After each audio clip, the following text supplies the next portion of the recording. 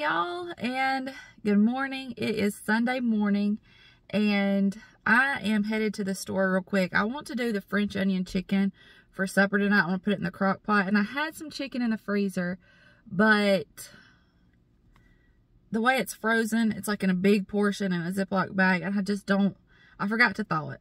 So I don't know that I be, don't know that I would be able to get it out and get it in the crock pot. So I'm gonna go pick up some chicken real quick. Um, today is Sunday, and we have not vlogged on a Sunday in a while. So we're going to take you through the day with us. I've gotten myself somewhat ready. Somewhat. I'm going to probably curl my hair before we head to church.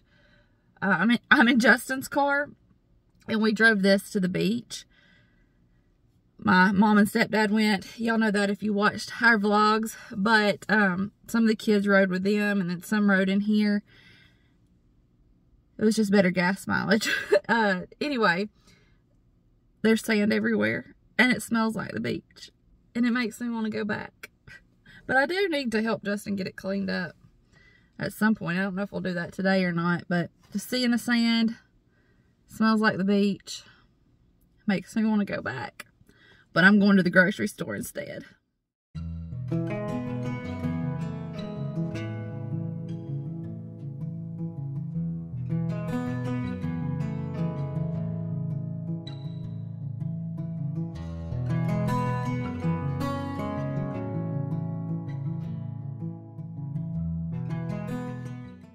Y'all, can we talk about the price of chicken at the grocery store? I know I went to a small, like family-owned grocery store and the prices there are a little bit more expensive than, say, Walmart, but I used to buy a small whole chicken there for 5 or $6. Now it's 11 uh, A four-pack of chicken breasts, $20.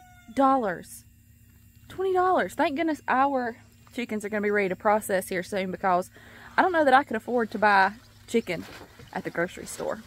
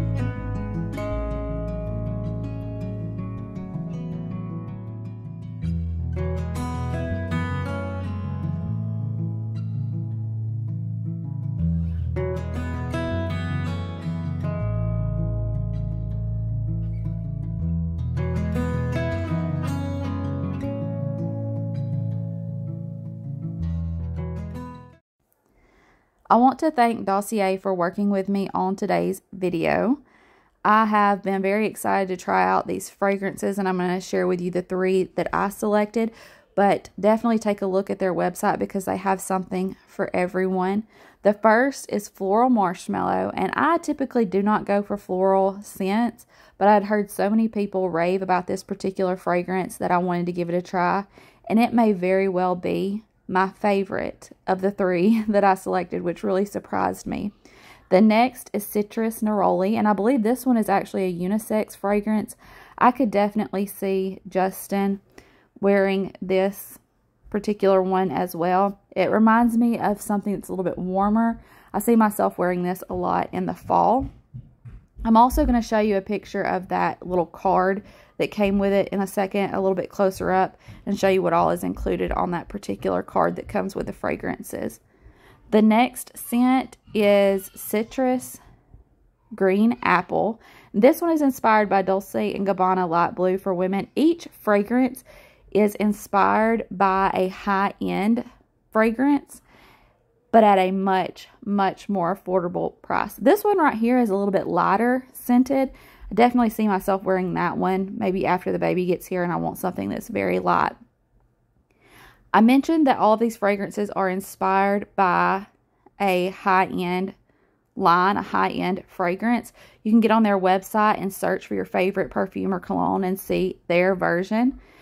I also really love this magnetic closure. Something about that just feels luxury to me. I don't know. It's the little things, y'all.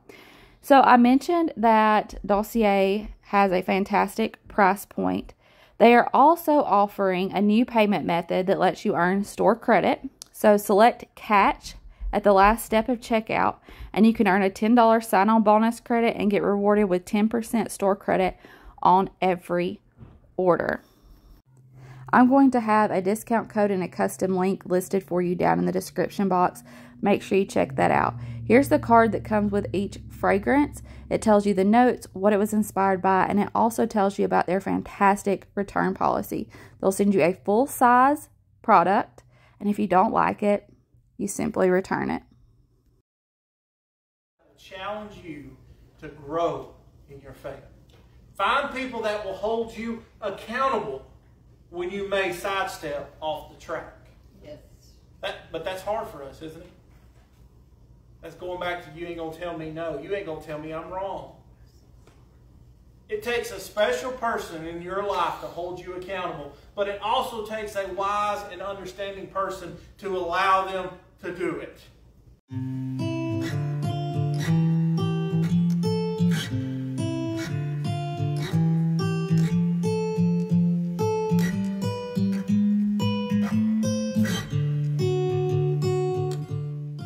We're back home from church. Did y'all see the video that went up yesterday for y'all where we made this peach salsa?